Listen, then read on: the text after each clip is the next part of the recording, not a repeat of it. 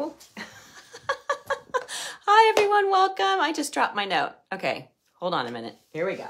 It's uh, it is Inspiration Wednesday time. Hopefully, I'm inspiring you with a little humor right now. Hmm. Okay, so I can't stick my note there. I'll just hold on to it. Hi everyone, it's Stacy, Reverend Stacy, here for Inspiration Wednesday on August 17th. Got a couple birthdays in our uh, family coming up. My mom's birthday is tomorrow. Make sure you say hello and happy birthday to her. I know she'll be here soon if she's not on yet. And a happy birthday to my son, Graham. He will be a legal adult on Friday, and then we take him to college on Saturday. So happy birthday to him as well. Okay, well, I'm back for Inspiration Wednesday. Didn't know if I was going to make it, folks. Didn't know. Just going to be totally honest and transparent here. As you know, I always like to be. It was a rough week. So, in case you don't know, let me catch y'all up. I had COVID for a week at the beginning of the month. A week, like, you know, yeah, mild. You all saw me here. I still did Inspiration Wednesday. Still did some video parts for our church service.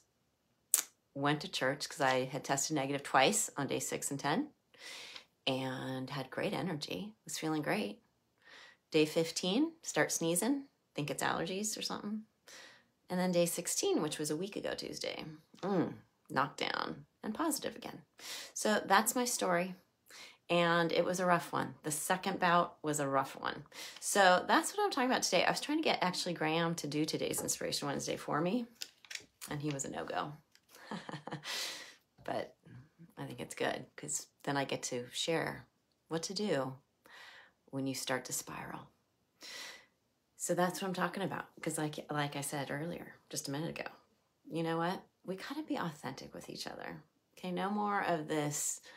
Um, I mean, it's called toxic positivity. No more putting a band-aid over, you know, the positivity band-aid over stuff and calling it good because there's still a festering wound underneath. So when we show up authentic, meaning with all of our range of feelings, first of all, if you can feel and experience and allow yourself to feel and experience, acknowledge the full range of emotions, then that means emotional maturity is there and happening. But also, when we can be authentic and honest and real and transparent with everyone around us, then it invites them to also do the same. And then, really, that's how we all help each other out. So, with that in mind, so I was spiraling.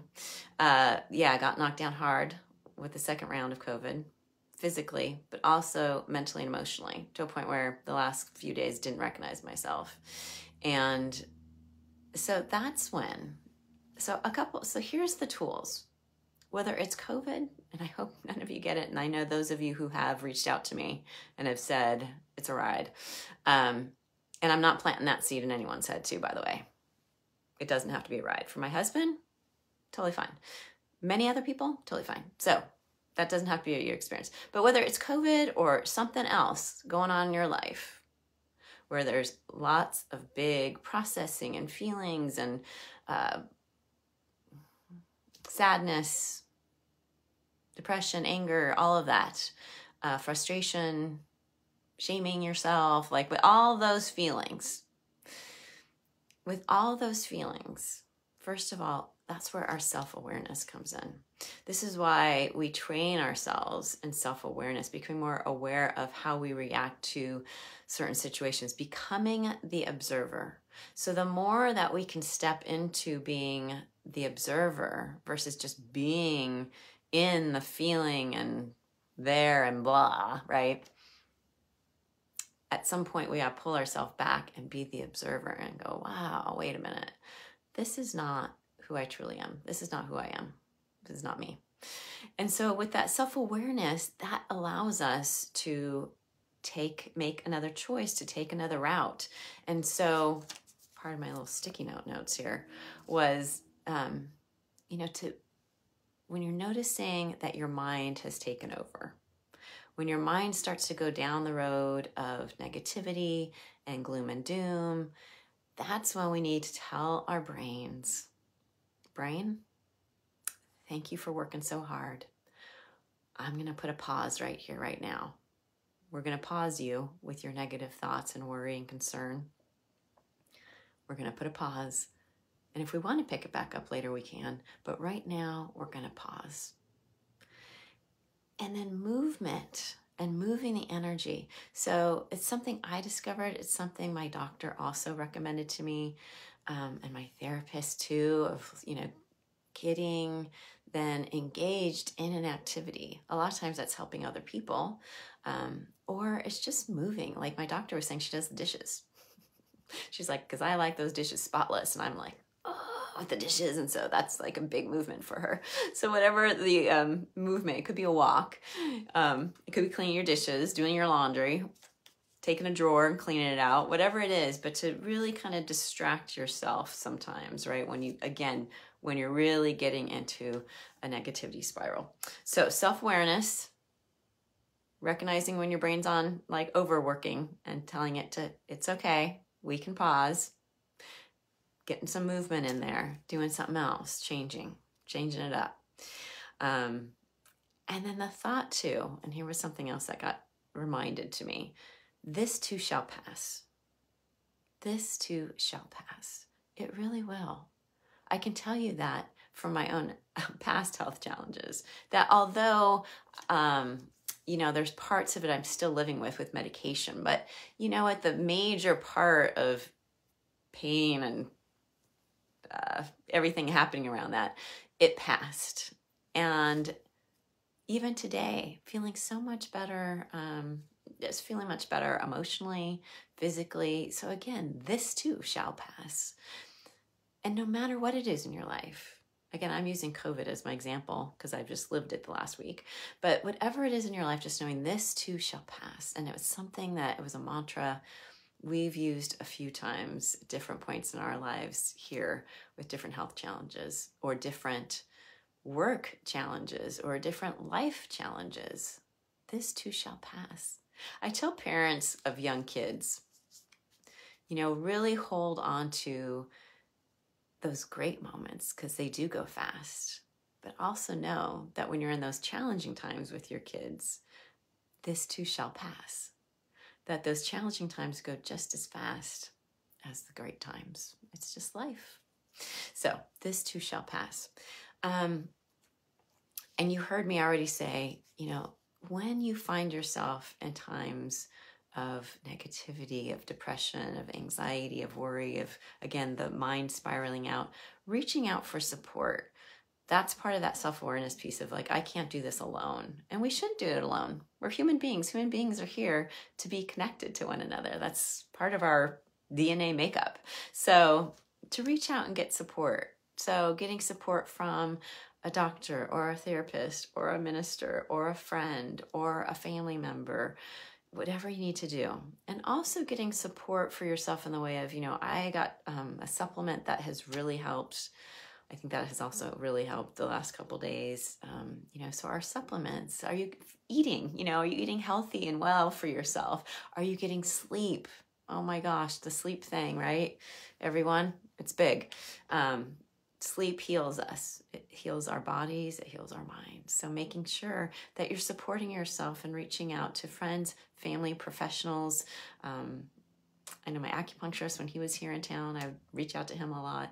You know, whoever you need to reach out to who can also support you. And it could be more than one person, too. And then that reminds me, my friend said to me the other day, you know, what does your inner child need? What is your inner child needing right now? So, again, when we're in those moments of feeling um, sad or defeated, or like life's not happening the way we want it to right now, turning within and really asking your inner child what what he or she needs. What are you needing right now? Sometimes it's an app. Sometimes it's a mandala coloring. That's what oftentimes I come back to coloring. Very interesting. Uh, or it could be a walk, or it could be a talk, or you know whatever it is. But really tapping into your own inner child, or maybe it's your inner teenager. Maybe it's going through all the stages. Now, what does my teenager self need? What does my 20 year old self need? You know, really tapping into that child within and and finding out what they need. Play. Yes, Deborah, play. We don't play enough. Laughter.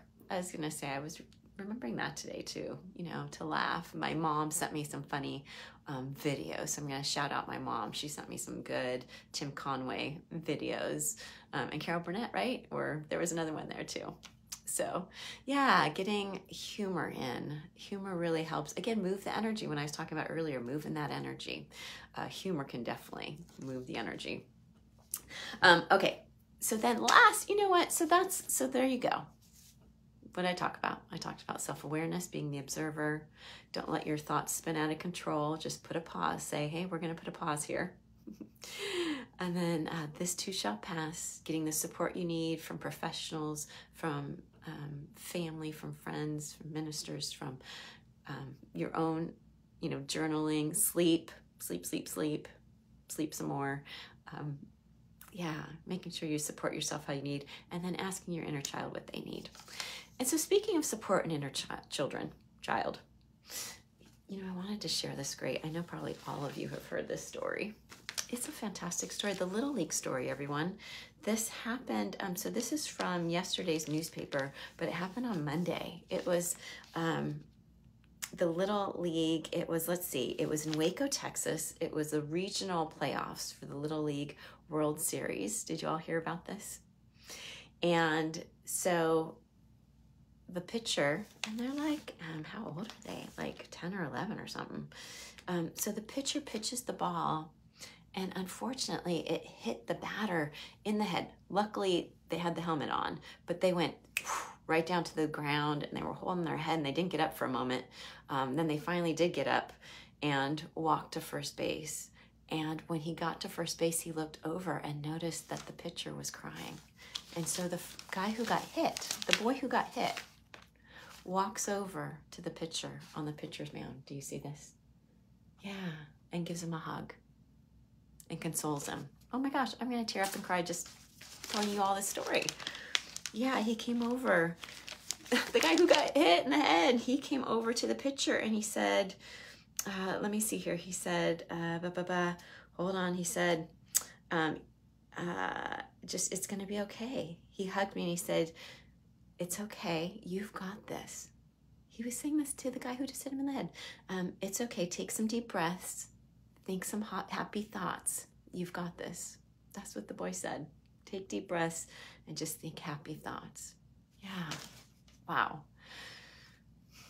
What children can teach us all. Just about, you know, friendship, sportsmanship, helping each other, supporting each other. But I also want to say that to all of you. Take a deep breath. You've got this. Think happy thoughts. So let's take a moment. I know we're right at 1244, but can we take an extra few minutes just to meditate together, okay? Uh, so go ahead and settle in because I want you to really focus on what is it that my inner child needs today? How can I comfort that inner child today? So go ahead and, uh, again, get comfortable, close your eyes. That helps me to visualize. Take a breath. You've got this. Maybe take another breath so your shoulders can come down and your eyes can close. And I want you to imagine that little girl or boy who lives within you. Maybe, I don't know, how old are they? Just notice. How old is that child? The child that today needs some comforting. Just allow that child to stand before you. And ask your younger self, your child self, what is it that you need today? What is it that you need in this moment to help with your healing?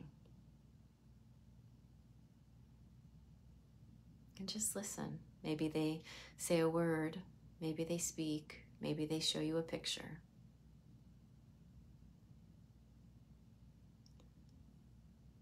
Allow your inner child to show you what it is that is needed today in this moment. Maybe it's permission to be just slow. We're so used to being so quick and fast and getting things done. Maybe it's permission to cry. Maybe it's permission to play. Maybe it's just a hug. Maybe your inner child just needs a hug today. And so, listening, giving them a hug, thanking them for the message, telling them that they're safe, that together you can get through everything, that you're going to breathe. You're going to get support and help when needed. And you're going to think happy thoughts. So go ahead and give your inner child that one more hug. Place them back inside you. Fill that space with love the energy of love, the feeling of love, the color of love. Taking another deep breath. Just acknowledging the peace that you feel, the gratitude that you feel in this moment, having listened. Knowing it's going to be all right. This too shall pass. And so we take another breath. We slowly open our eyes. Ah, and we say thank you. We give thanks and say thank you for this moment. So I want to thank all of you for this moment, for listening, for being a witness. I'm here to be a witness to all of you as well. Again, the more authentic all of us can be, it allows others to be authentic too. And then we can live freer, happier lives. Yeah. So thank you for spending your Wednesday afternoon with me. I hope to see you on Sunday. Actually, Reverend Sherry is uh, speaking her regular Sunday, and she's got a great message coming. So I hope to see you uh, Sunday online or in person and uh, next Wednesday as well. Remember, you can always listen to this as a podcast. Go back and listen to Spiritual Inspirations, is what it's called as a podcast and our YouTube channel has so many fantastic, fantastic Sunday services, messages, meditations, and music videos. So go check that out too. And uh, please sign up for our upcoming E squared study groups. You'll have to check that out uh, in our e letters or just email our office for more information. I'll be putting out an email here on social media, I mean, a video here on social media as well. Okay, everyone, have a fantastic rest of your day. Blessings. Take a breath. Think happy thoughts. You've got this. Goodbye.